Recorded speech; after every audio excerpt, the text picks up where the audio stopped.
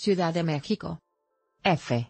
Guión las remesas enviadas a México crecieron 35% durante el mandato de Enrique Peña Nieto, al pasar de 22.438 millones de dólares en 2012 a 30.291 millones de dólares en 2017, según refleja el sexto informe de gobierno, que presenta el presidente este lunes.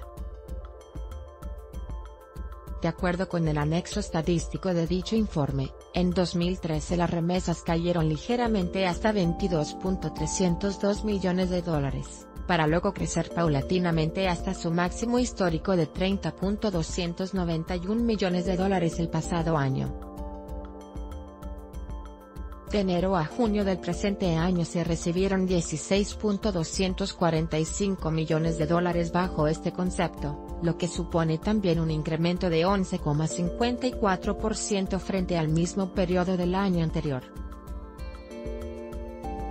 En 1995, el primer año del que ofrece resultados el Banco de México, las remesas fueron apenas de 3.672 millones de dólares. En los últimos dos años, el aumento de las remesas que proceden principalmente de migrantes en Estados Unidos y suponen la segunda fuente de divisas del país siguieron creciendo pese al arribo de Donald Trump a la presidencia de Estados Unidos y su advertencia durante la campaña electoral, incumplida, de fijar impuestos para el envío de dinero. El mismo documento destaca también otros logros económicos del país durante el mandato de Enrique Peña Nieto, quien dejará el cargo el 1 de diciembre cuando asuma el izquierdista Andrés Manuel López Obrador. Cabe destacar que el crecimiento promedio de los primeros cinco años de la administración fue 2,5%, por encima del 1% de América Latina y el Caribe y superior también al 2,1% de los países de la Organización para la Cooperación y el Desarrollo Económicos, OCDE, indica el documento. También destaca que, en los 22 trimestres de la actual administración, el crecimiento ha sido positivo a tasa anual, lo que no ocurría en los 18 años previos.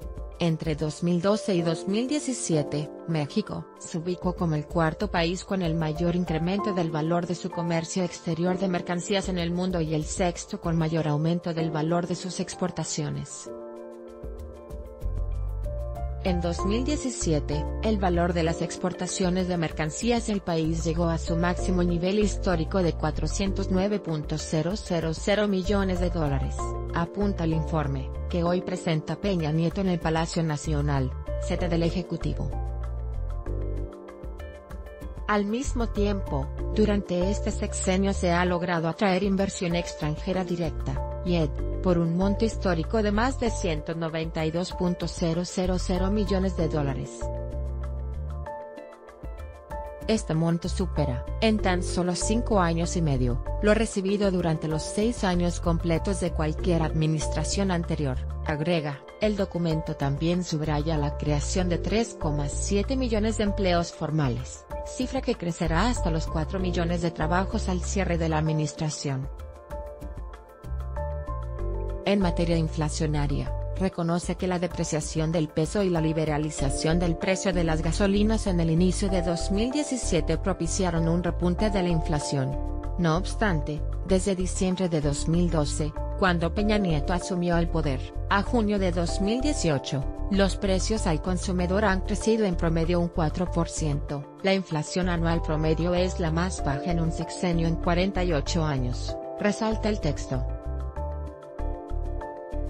Los anteriores indicadores reflejan un país con estabilidad y crecimiento, con finanzas públicas sanas, baja inflación y creciente inversión y generación de empleos, destaca. De acuerdo a la edición 2017-2018 del Índice de Competitividad Global, elaborado por el Foro Económico Mundial, México se consolida en la posición 51 de 137 en la lista de países más competitivos, su mejor posición desde que se elabora este estudio concluye.